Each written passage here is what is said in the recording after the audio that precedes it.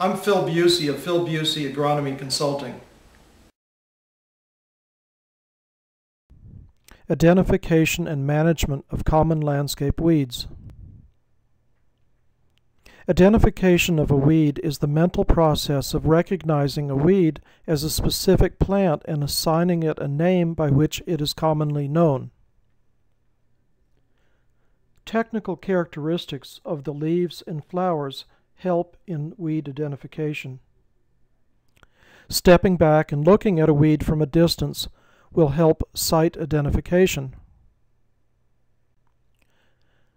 Knowing more about a weed, such as its objectionable characteristics, can help you inform your clients and show you understand. Weed identification can be more than just naming a weed. It is the beginning to knowing everything about a weed, including how to manage it. Weed management involves choices in how to deal with weeds, whether to kill them, prevent them, reduce them, work around them, and knowing when to ignore them. All this depends upon identifying the weed first before one can make those choices. Are you with me so far? If so, let's go ahead and look at some common weeds and their identifying characteristics.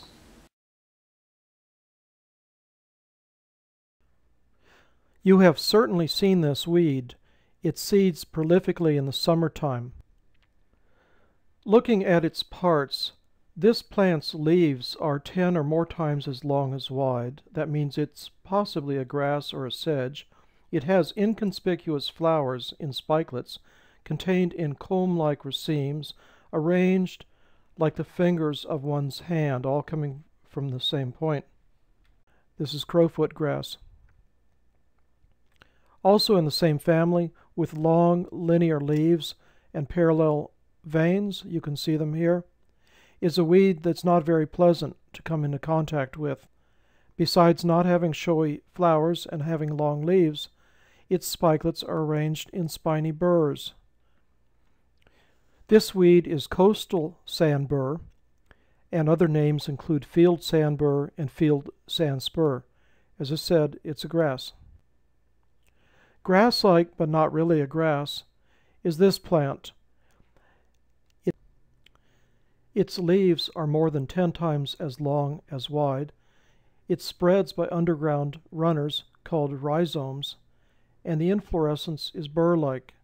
If you were to look at the top of this plant from the leaf whorl up, you would see that the leaves are arranged in three ranks, and if you twirled the uh, stem with your forefinger and your thumb, you'd feel a little bit of an edge to it.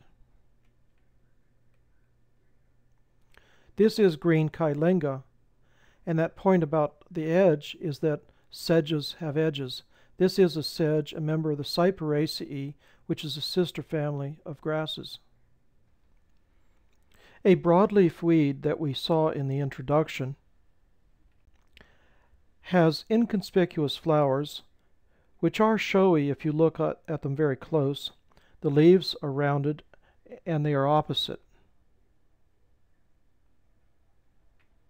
This is heartleaf drymary, which we saw before. Another broadleaf weed is shown here. It has an attractive yellow flower. The flower has five yellow petals. The fruit is a capsule which explodes to shed its seeds. The leaves are heart-shaped and they occur in threes, even though that's not obvious here. This weed, however, is common yellow wood sorrel, often called oxalis, because it is in the Oxalidaceae family. A broadleaf weed that can be quite a nuisance has fruits that segment the fruit segments break into pieces and stick to clothing. The tiny violet flowers look almost like little butterflies. This plant is creeping beggarweed. It's in the Fabaceae or the legume family. Also in the same family is a low-growing weed that can be somewhat attractive, but it can be a real nuisance in lawn. The flowers are in heads. They too are miniature butterfly-like. The leaves have three leaflets. This weed is white clover. And you'll also notice a little bit of a marking on each leaflet, which is common. With its flower like a tiny hibiscus, this weed has a very strong taproot. Its stamens, which bear the pollen, form a tube between the five yellow petals. The leaves are alternate on the stem and the leaf margins are serrate. The plant is southern sida, which is in the Malvaceae or the mallow family. A weed that goes by many names is this, with flowers and heads. Leaf margins are serrate, as in the last example, and the leaves are opposite. You can see that the leaves are opposite from above by noticing that they occur in pairs of equal size. This is matchweed in the verbena family. A tiny weed with a moundy appearance is this. It has tiny white flowers, star-like in appearance. The leaves are opposite. It is Old World diamond flower, which is in the Rubiaceae, or the coffee family. We'll come back to this family. Another important family is the sunflower family, or the Asteraceae, of which this weed is a member. In common with other members of the sunflower family, the flowers are in heads, and they are showy although they are very small. The leaves of this species are often narrow, which is not typical of the sunflower family. The leaves of this species are white and fuzzy looking because of many small hairs. This is narrow-leaf cudweed in the Asteraceae or the sunflower family. It's very difficult to control. This little weed is cute, but it can be a real problem in the landscape. The flowers are in heads. The leaves emerge near the ground, initially in a basal rosette, and the leaf margins are serrate. It is Asiatic hawksbeard. That completes a set of 12 weeds for which we've learned in more detail some of the distinguishing characteristics. To continue this exercise in weed identification, we're going to use a diagnostic key that is on the web at idweed.com. So if you have a smartphone, you can access this now or when you get back to your place of work or home idweed.com asks you simple choices between two weeds. It provides you a picture of them, and we're going to go through this exercise now to see some of the weeds again that we just saw, to see some new weeds, and to look at the contrasts in a dichotomous key. The first characteristic in separating out the weeds is whether the leaf veins are branched or parallel.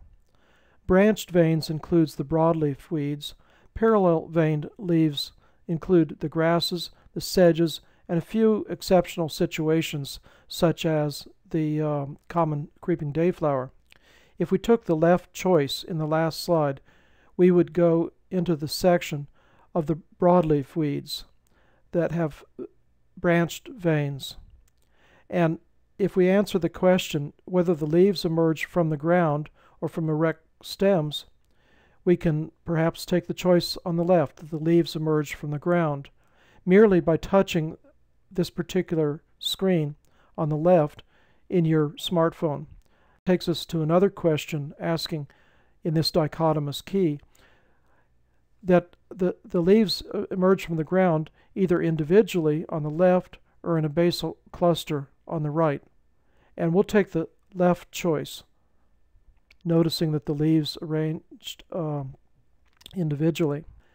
And finally, as the last choice, we are asked whether the leaves emerging from the ground are attached in the middle or on the edge.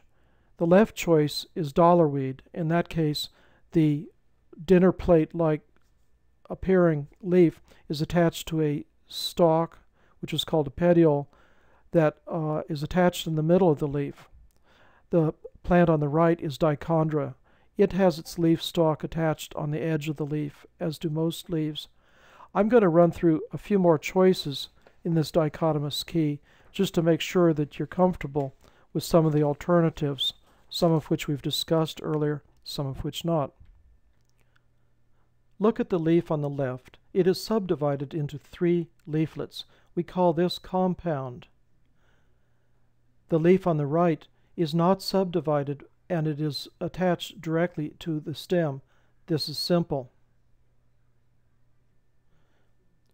In most cases, leaves are attached to the stem in two different ways. One is that they may be attached in opposite pairs, as the Spanish needle plant on the left, or they may be alternating, as the pigweed plant on the right. Both plants here have opposite leaves, but the one on the left has leaves coming to an encircling cup at the base of the leaves. The one on the right has no encircling cup. This is an important family characteristic because of the plant on the left, which is broadleaf parsley, is in the coffee family or the Rubiaceae. If you want to remember the coffee family, remember that it often has cups at the base of the opposite leaves, in contrast to the plant on the right, which has opposite leaves but is green shrimp plant. A choice between the um, leaf margins might be whether the leaf margins are incised as in coat buttons on the left or merely serrated as in the uh, matchweed on the right. And notice again that matchweed has opposite leaves. idweed.com uses the width of the leaves to distinguish among some of the plants with parallel veins. For example, the choice on the left, which is leaves more than a half an inch wide, is used to identify both the creeping dayflower that you see here as well as a grass, basket grass. Dayflower is not a grass, obviously basket grass is. Most grasses will key out on the right with leaves less than a half an inch wide, the plant shown is Argentine Bahia grass. An important distinction among types of grasses is growth habit. The plant on the left is considered a bunch grass because its leaves emerge from a single center, whereas the plant on the right that spreads across the ground is a running type grass. The plant on the left is smut grass. The plant on the right is a species of crabgrass. Spreading grasses include two very serious weeds, which are tropical signal grass on the left and crabgrasses on the right. They can be distinguished by the stiffness or softness, as the case might be, and the shininess or dullness of appearance of the leaves. So even without flowers or fruits, we can identify many different species of weeds. In the key on idweed.com, You'll be asked near the end of the key, if you step through some of the grasses, particularly those with spreading growth habits, whether the stolon thickness, which would be the above ground runner, is very thick, 5 millimeters thick or thicker, or more slender. That choice distinguishes on the left Bahia grass from some other choices on the right, such as the St. Augustine grass that's shown here. If you take that latter choice, you'll be asked again a measurement of the width of this case the, the leaves. If the leaves are relatively wide, and I should add roundish, it's typically St. Augustine grass on the left. If the leaves are narrower than 7 millimeters wide and it has a kind of a pointy tip to it, it would be centipede grass on the right. Well, maybe that's enough for now. I'm going to turn you back to our moderator and I will see you again in a few minutes.